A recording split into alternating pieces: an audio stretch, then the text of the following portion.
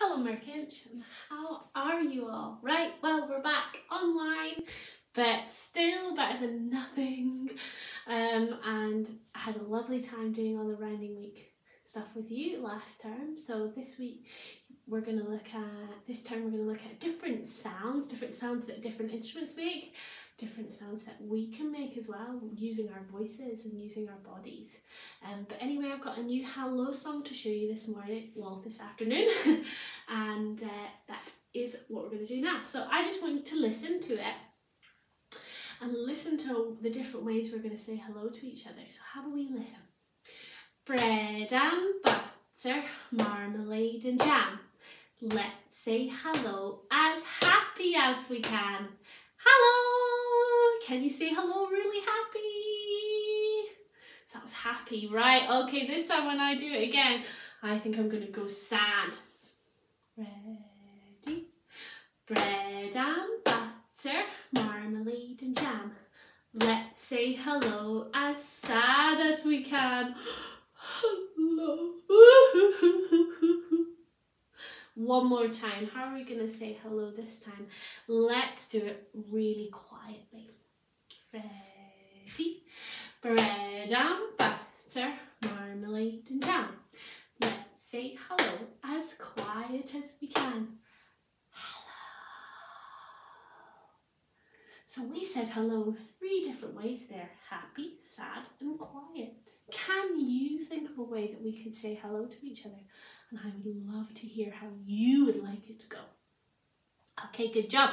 Right, so I'm going to show you an instrument now because we just, like I said, I'm going to show you different instruments um, and we're going to make some instruments as well. Now, this instrument is called a kambala and it looks like this. There's actually a stag head in here. I don't know why it's got a stag head in here.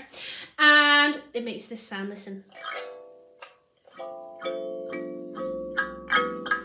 Now you push these metal bits in and then they bounce up and they make a sound. Remember what I said about the whistle? The long one has got the low sound and then the high one, it's got a very high sound. So you push them in. It's a very relaxing instrument. Now I'll try and attempt something on it.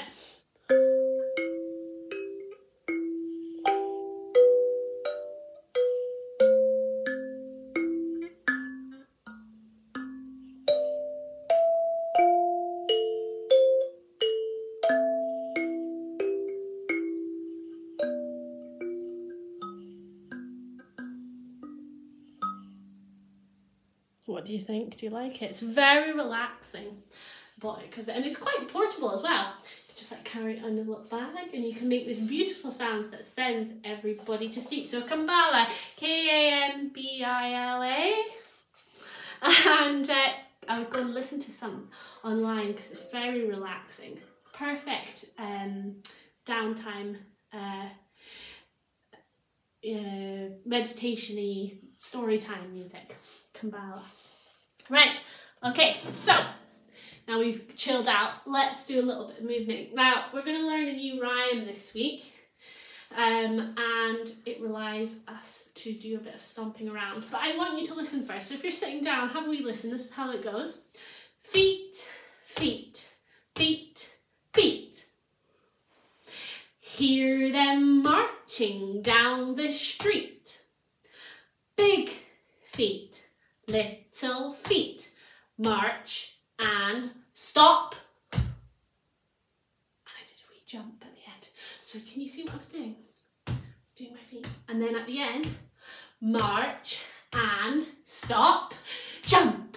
And then I did a wee jump at the end. Right, this time do you want to get up and try it with me? Now you have to make sure that your feet are moving at the time I'm saying the rhyme. Now it's a rhyme. Why is it a rhyme? Because we're using our speaking voices. We're not singing this. Feet, feet, feet, feet. We're speaking it. We're not singing it. So it's a rhyme. We're using our speaking voices. So how make sure you've got a bit of space. You might want to just march on the spot. So let's try it. Try and find the beat. Ready, off we go.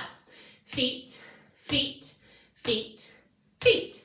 Hear them marching down the street. big feet, little feet, march and stop, jump. Did everybody do a big jump at the end? I hope you did. Right, we're going to do it this time, and I'm not going to say jump because that's not actually in the rhyme, just because you haven't heard it yet. Right, let's try it one more time.